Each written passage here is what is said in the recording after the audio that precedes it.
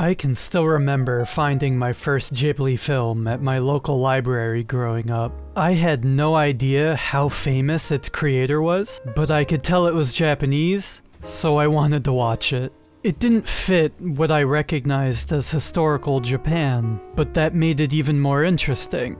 And when I learned he had made previous movies, I had the librarian try and order them too. Princess Mononoke had broken through the US market's disdain for foreign films and animation simultaneously, which set the path for Spirited Away to make history. Now, I'm not the biggest fan of Ghibli, but Miyazaki is one of the rare directors that gives us the full package. His films are impactful across cultural lines, First, he crafted fictional European cities for Japanese audiences, and then pivoted towards Japanese aesthetics and imagery that would captivate the wider world. Little did I know that the film that made its way into my small town library was considered a turning point for Miyazaki, that it was the cause of his uneasiness towards filmmaking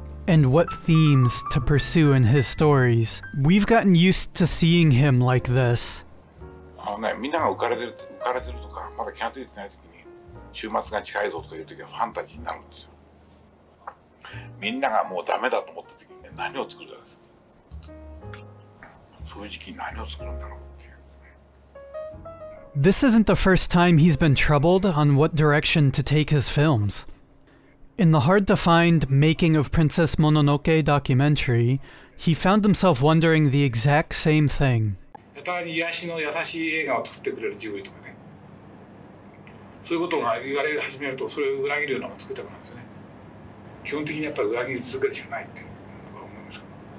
Off camera, he told the filmmaker that he rejected his previous works, that he actually wanted to destroy them that they all fell short of what Nausicaa tried to do.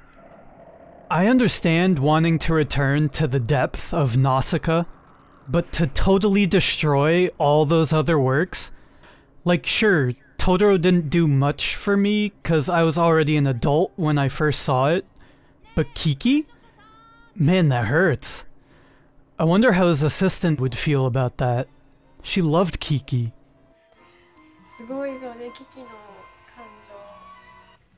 ジジなんで最後しゃべれしゃべれないんですかうんジジがさね、うん、もう僕がいないとすぐこうだからとかこう言う言うと納得すんの頭にくるよね黙ってるお前 So what depth is he referring to exactly? In order to answer that, we need to take a look at what makes his films so impactful, even when he doesn't think that they are.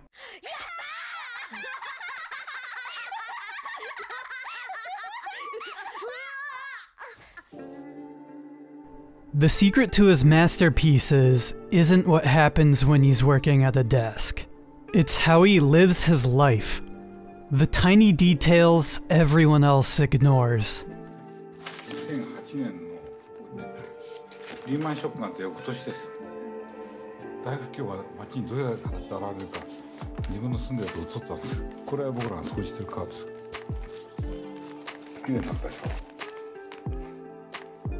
Miyazaki's depth comes from what C. Wright Mills called the sociological imagination. It's a certain awareness of how daily life and the grand scheme of things are interconnected. Now, he has quite a lengthy definition, but what's most important is this final part. It is the capacity to range from the most impersonal and remote transformations to the most intimate features of the human self, and to see the relations between the two. Let's watch this again. 大不況は街にどういう形で現れるか自分の住んでると映ったんですこれは僕らが掃除してるカードです綺麗になったでしょ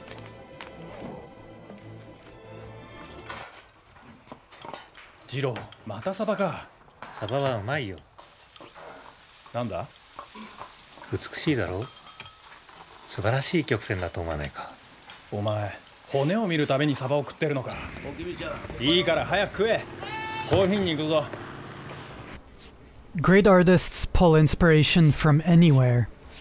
While watching behind the scenes documentaries, I'm always surprised at all the completely different books he reads while working on his films. He's constantly jumping between the everyday troubles of people and the societal issues surrounding people. Spinning complicated stories that don't necessarily resolve themselves, but focus on how individuals can handle their own daily hassles within the greater issues of their time is what Miyazaki prefers over a generic villain character. Now let's go back even further to that Princess Mononoke doc. He talks further on the depth he thought was missing from his works leading up to Princess Mononoke. The resolution of the stories were meaningless, and Porco Rosso specifically did nothing for children, so it was a failure in his eyes. いやこれはまあ娯楽映画だからって作ってても実はそこの人間の根源的な思想がよく出てしまうものなんです出すまいと思っても出ちゃうんですよ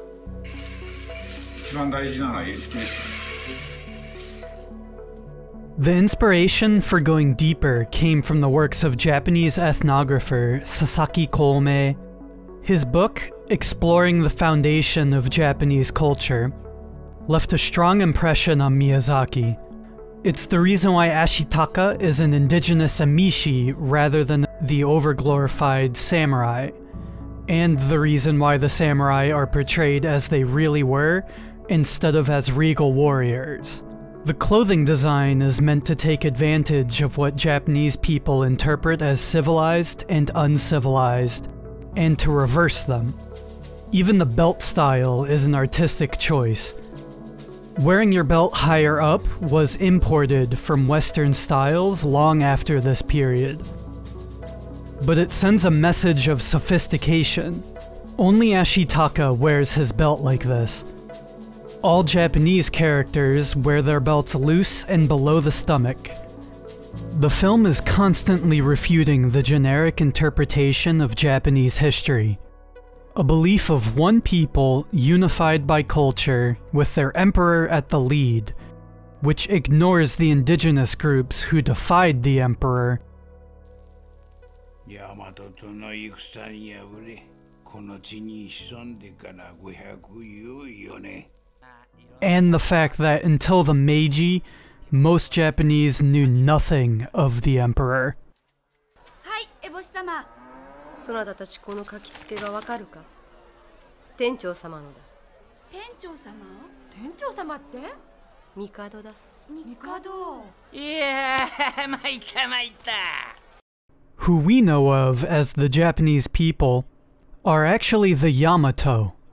a specific ethnic group that started in the west and over centuries conquered their east.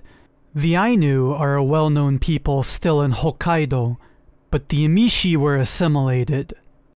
Miyazaki states that as someone born in the east, he most likely has some Emishi blood in him. That Japanese history teaches him to look down on his ancestors. Despite creating the pottery that Japan uses to claim a long and rich history, the indigenous of Japan are left out of the myths of the proud Japanese people and nation.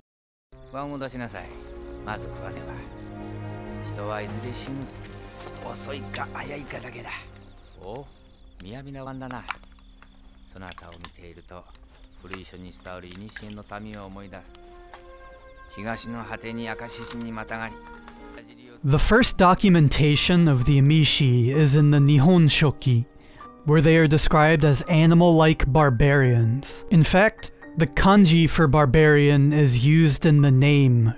The myth that Japanese people are connected to nature is refuted by Miyazaki in the film. It was the Emishi who were one with nature, and the Yamato's desire to conquer the land and develop it is at odds with nature. Whether he's randomly explaining the current Japanese debt to people filming documentaries, or giving a much more thoughtful answer than an interviewer was looking for. With the outsourcing to Korea and China, and Japanese animators are training their future competition. 何とも言えませんね、あの つまり、ど、どんなに 対等な関係を保とうと思っても、お金を出してる方が強いんです。But the documentary maker has the final say on what's included in the film. The NHK documentary decides it wants to focus on Miyazaki making a film for post earthquake Japan. The majority of the scenes and where Miyazaki is stuck making his final film all revolve around whether or not it's good enough for the Japan of the day.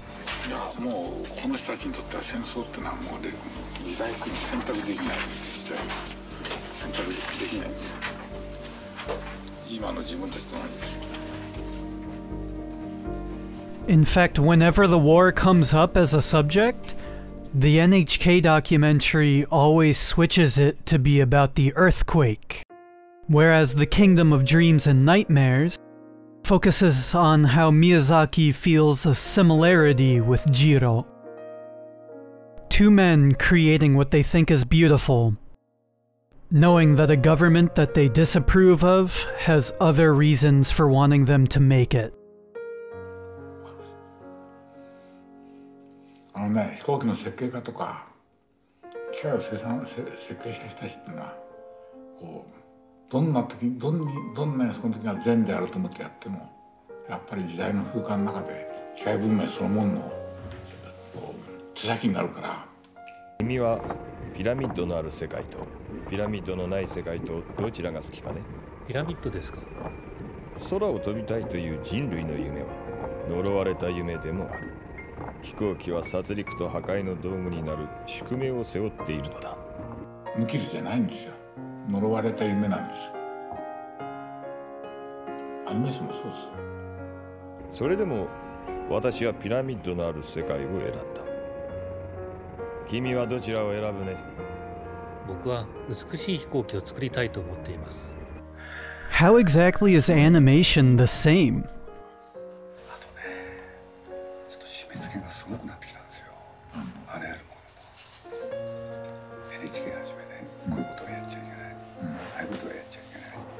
Although the NHK brands itself as unbiased reporting locally and a means to export Japanese culture abroad, the reality couldn't be further from the truth. In the years surrounding the making of The Wind Rises, and thus these documentaries, the channel was enforcing strict political goals with its content. And as you can see, not even a big name like Studio Ghibli was free from its content censorship. 映画作る時にもね、ドラマ作る時にもね、そういう問題には触れない。それがですね民放も全部なんですよこれでもう怒涛のごとく受け化しようと思ってますね自由に作れるのはここまでですね The NHK also took issue with the making of Princess Mononoke. The program was unhappy with the new direction he wanted to take his stories.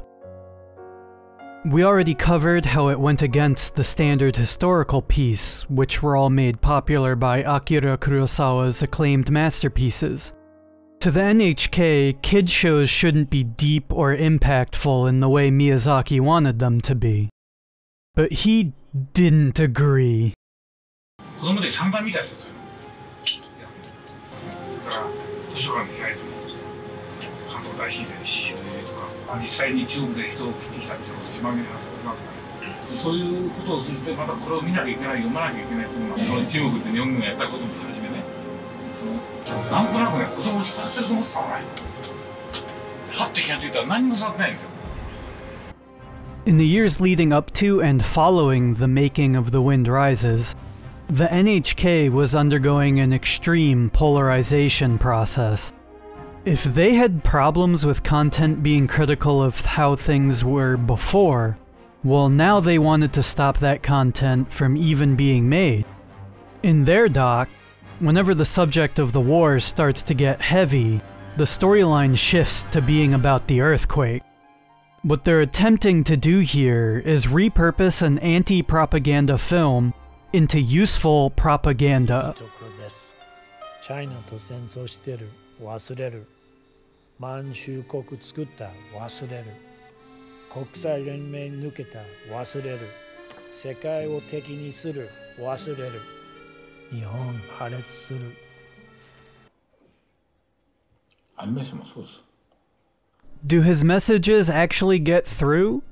Or is he just making tools of soft power for the government he despises? His film about the plane's creator was a reversal of how right wing nationalists worship the Zero Fighter and its pilots.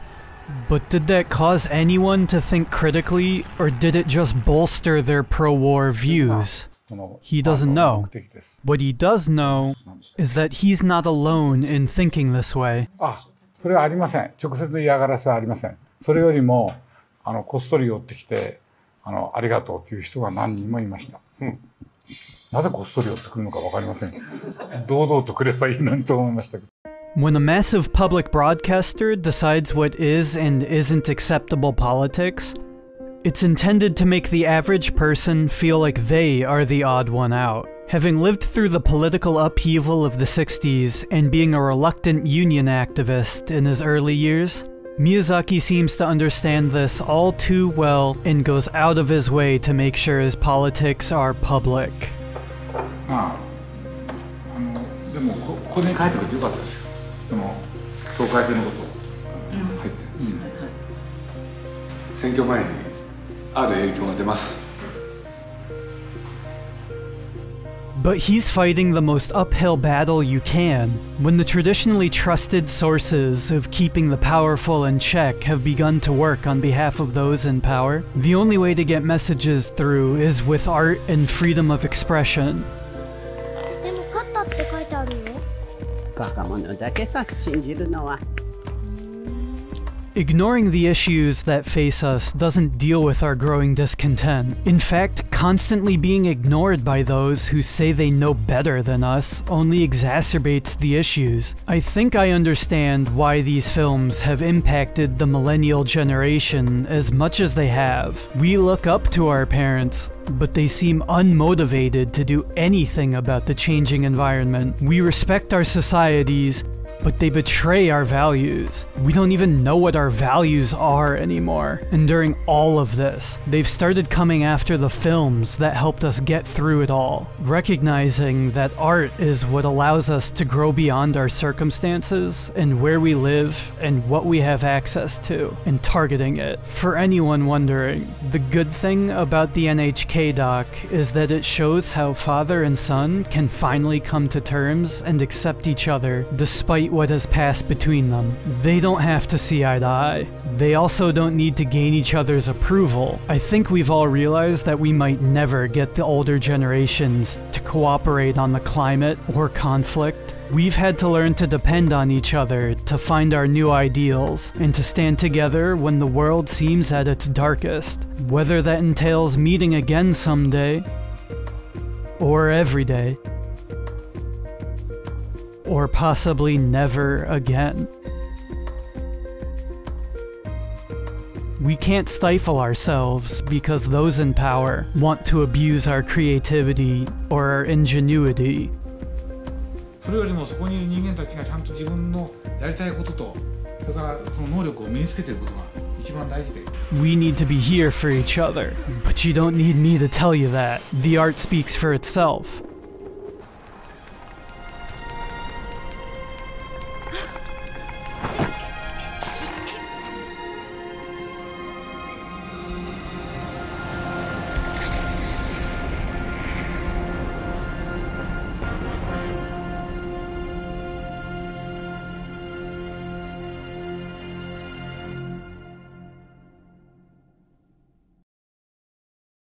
Thanks for waiting so long for this vid. I'm working on around 5 different scripts and don't like rushing the process. That said though, I do still cut a lot out of the final version for the sake of flow. Always subscribe and wait for that video though, if you want. But thanks for watching anyway.